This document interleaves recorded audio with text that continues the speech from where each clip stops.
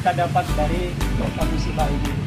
Di antaranya pemerintah uh, melaksanakan pembatasan sosial berskala besar. Artinya kita semua diharapkan bisa menjaga kesehatan masing-masing dengan diutamakan bisa di rumah.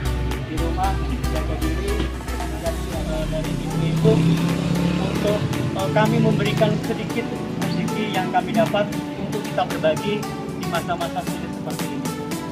Harapan saya apa yang saya berikan janganlah kemudian uh, dilihat dari seberapa besar nilainya tetapi lihatlah seberapa tulus kami ingin membantu masyarakat semua yang ada di khususnya di Kebayan ini.